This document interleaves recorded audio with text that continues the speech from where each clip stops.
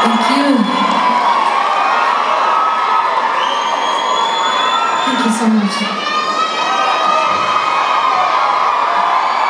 So, uh, we, um, you keep, you keep jamming, but I don't know what you're saying. It was cool. We, um, we wrote our, this last album having no idea what we were going to sound like when we started, and honestly, not really having any, any better of an idea when we finished. We've always kind of been a band that just, we write whatever we feel that second, that moment, and um, we go with it, and thankfully, you guys are into it. Thank you.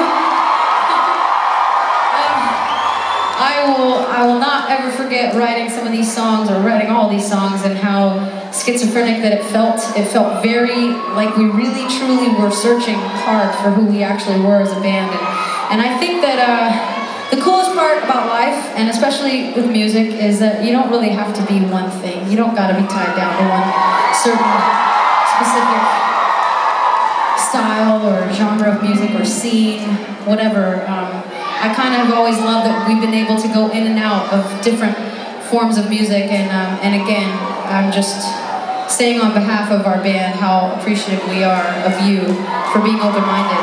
It's beautiful. song we're going to play is from our self-titled record. It's a, it's a ballad. It's a slow song.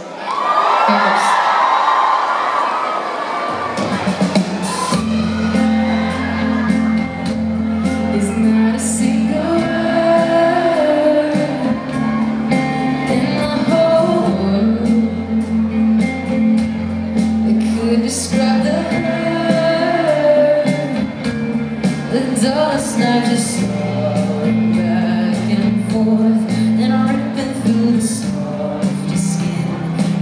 never